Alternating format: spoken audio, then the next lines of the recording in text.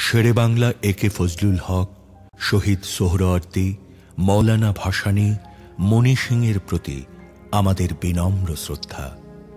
আমরা গভীর শ্রদ্ধা জানাই হাজার বছরের শ্রেষ্ঠ বাঙালি, জাতির পিতা বঙ্গবন্ধু শেখ মুজিবুর রহমানকে। আমরা শ্রদ্ধা জানাই প্রবাসী সরকারের প্রধানমন্ত্রী তাজউদ্দিন আহমদকে। আমরা শ্রদ্ধা জানাই একাত্তর পূর্ব ছাত্র নেতাদের, যারা বান্ন, বাষট্টি, ছেষট্টি, ঊনসত্তরে গণ আন্দোলনের সৃষ্টি করে বাঙালি জাতির স্বাধীনতা ও মুক্তির সংগ্রামে বঙ্গবন্ধুর পাশে ছিলেন। আমাদের বিনম্র শ্রদ্ধা রইল তিরিশ লাখ শহীদ ও পাঁচ লক্ষ নির্যাতিত মা বোনের প্রতি। আমরা শ্রদ্ধা জানাই বীর মুক্তিযোদ্ধাদের যারা স্বাধীন বাংলাদেশ সৃষ্টি করতে শহীদ হয়েছেন। আমরা শ্রদ্ধা জানাই লক্ষ লক্ষ মুক্তিযোদ্ধাকে যাদের বীরত্বের কারণে আমরা স্বাধীন বাংলাদেশ সৃষ্টি করতে পেরেছি। আমাদের গভীর শ্রদ্ধা রইল একাত্তর সালের সেই জনগোষ্ঠীর প্রতি, যারা সীমাহীন কষ্ট ও নির্যাতন ভোগ করে মুক্তিযুদ্ধের প্রতি অনুগত থেকে মুক্তিযোদ্ধাদের সর্বাত্মক সহযোগিতা দিয়ে স্বাধীন বাংলাদেশ সৃষ্টিতে ভূমিকা রেখেছেন। এদের সবার কাছে আমরা ঋণী। হাজার বছরের শ্রেষ্ঠ বাঙালি, জাতির জনক, বঙ্গবন্ধু শেখ মুজিবুর রহমানের কাঙ্ক্ষিত বাঙালি জাতীয়তাবাদী চেতনার বিকাশ, শোষিতের গণতন্ত্র, শোষণমুক্ত, বৈষম্যহীন সমাজ, মানবিক মূল্যবোধ, সামাজিক ন্যায় বিচার সামাজিক অর্থনৈতিক রাজনৈতিক সাম্য প্রতিষ্ঠা করে জনগণকে ক্ষমতার প্রকৃত মালিক করে আমরা এদের ঋণ শোধ করতে পারি। আসুন আমরা আমাদের পূর্বসূরীদের ত্যাগকে স্মরণ করে তাদের নির্দেশিত পথে দেশকে এগিয়ে নিই। জয় বাংলা। আমার নাম মোহাম্মদ শফিউল্লাহ আমার বাবার নাম ডাক্তার হামিদুল্লাহ। মায়ের নাম? মায়ের নাম সুফিয়া বেগম। ঠিকানা বরাগলপুর পত্রবীর মহাদানার তিন নম্বর জোড়াগঞ্জ ইউনিয়ন, থানা জোড়াগঞ্জ, উপজেলা মিরেশ্বর চট্টগ্রাম।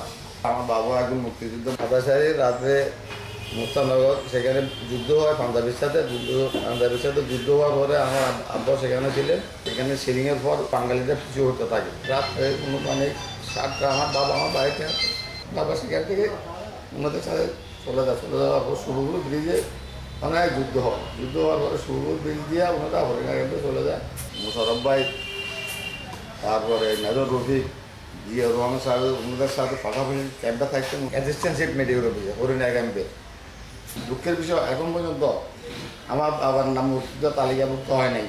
স্কুল ছাত্র নবনাথ হাই স্কুল আমরা যুদ্ধ শুরু হওয়ার পর ছাব্বিশে মাস সাতাশের মাস রাস্তাতে আমরা ব্যারিকেড দিই ব্যারিকেড দিতে কারা বলছিল? ব্যারিকেড দিতে বলছিল বাবু রাখাল চন্দ্র বণিক মহিউদ্দিন রাশা ওনারা রাতে আসে আমাদেরকে বলল যে ব্যারিকেড দাও পাঞ্জাবি আসতে পারে। ব্যারিকেড দিলাম। এরপরে আমি বন্ধু বান্ধব সহ আমরা এক নম্বর ইউনিয়ন থেকে পাঁচ নম্বর ইউনিয়নে চলে যাই। সেখানে আমার সাথে চারজন, পাঁচজন পাঁচ নম্বরের সিকান্দার, ডাক্তার মুস্তফা, সত্য, নারায়ণ হুমায়ুন সেনের ভাই, রোশন আক্তার। আমরা পাঁচজনে মিলে মধুগ্রাম যাই হইয়া ইন্ডিয়াতে প্রবেশ করি। প্রথমে এখানে অবাধের এমপি অবাধ বলেছিল, সেখানে তাদের ক্যাম্পটা ছিল নকশালিশ। সেখানে যাওয়ার পরে তারা আমাদেরকে নানা রকম প্রশ্ন করার পরে পরের দিন আমরা সকালে ঘুরে ক্যাম্পে দুদিন থাকার পরে আমি আমার বন্ধু বান্ধব যারা ছিল তাদেরকে রোশন, হুমায়ুন, সত্য, নারায়ণ সেখানদার এদেরকে নিয়ে আমরা উম্পিনগর চলে যাই। উম্পিনগর এক মাস, তিন দিন আমরা সেখানে ট্রেনিং হয় ট্রেনিং হওয়ার পরে আবার আমরা হরিণা ক্যাম্পে ফিরে আসি। হরিণা ক্যাম্পে ফিরে আসার পর ন্যায়ের মাঝামাঝি আমাদেরকে মিরেশ্বরকে মোশারফ সাহেব আমাদেরকে মিরেশ্বরতে পাঠায়। আমার গ্রুপ কমান্ডার আমার প্লাটুন কমান্ডার ছিল ওহিদুর রহমান। আমার সেকশন কমান্ডার ছিল ডাক্তার মোস্তফা, বাবারি মিয়াদাঙ্গা আমি ছিলাম ডেপুটি কমান্ডার ইন্ডিয়া থেকে এসে প্রথমে আমরা মিরেশ্বরে আবুদুর বাজারে একটা বাড়িতে অবস্থান নিই, সেখান থেকে দু তিন দিন পরে আমরা চলে আসি মিয়াদাঙ্গা মিয়াদাঙ্গারে হিন্দু বাড়ি, খামার বাড়িতে আমরা ছিলাম বাউন্ন জন।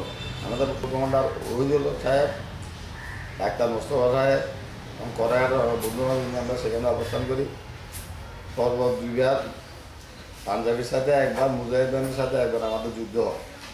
মিয়ানমারকে বাংলাদেশ যুদ্ধ হয়। একজন মুজাহিদ খানের মেজর এবং ওয়াল সরকার সেই যুদ্ধে মারা যায় মারা যাওয়ার পরিপ্রেক্ষিতে তারা নোয়াখালীর থেকে আটেদারে ছিল সিলিং শুরু করে।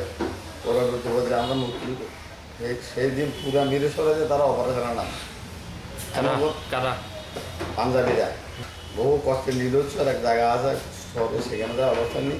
এরপরে ডিসেম্বরের ছয় থেকে সাত তারিখের মধ্যে আমরা গুমঘাট ব্রিজ, ব্রিজে সেখানে চলে যাই। আটটা তারিখ মিরেশ্বরে স্বাধীন হয়। যুদ্ধ হয় না পাঞ্জাবিরা আট তারিখ সকাল সাতটা আটটার দিকে তারা মিরেশ্বর থেকে চট্টগ্রামের দিকে চলে যায় আমরা পরে যুদ্ধ শেষ হওয়ার পরে বাড়িয়ারি ক্যাম্পে চলে যায় বাড়িয়ারি ক্যাম্পে প্রায় দেড় মাস অবস্থান করি। অবস্থান করার পরে সেখান থেকে আমাদেরকে ওসমানী সাহেবের লিখিত সার্টিফিকেট দেওয়া তারপরে আমরা সার্টিফিকেট নিয়ে বাড়িতে ফিরে আসি ফিরে আসার পরে আমরা বললাম যে লেখাপড়া করবি না চাকরি করবি? তা আমি আবার কলেজে ভর্তি হয়ে নিজামপুর কলেজে তখন রাজনীতি করতেন পরে? হ্যাঁ, আমি রাজনীতি করতাম ছাত্রলীগ মুজিববাদী ছাত্রলীগ করতাম তখন নিজামপুর কলেজে? নিজামপুর কলেজে। তখন নেতা কে ছিল? তখন নেতা ছিল সীতাকুণ্ড মহিত আবদুল্লাহ মিরেশ্বরের আবদুল্লাহ ছাত্র ইউনিয়নের বাচ্চু তারাও মুক্তিযোদ্ধা।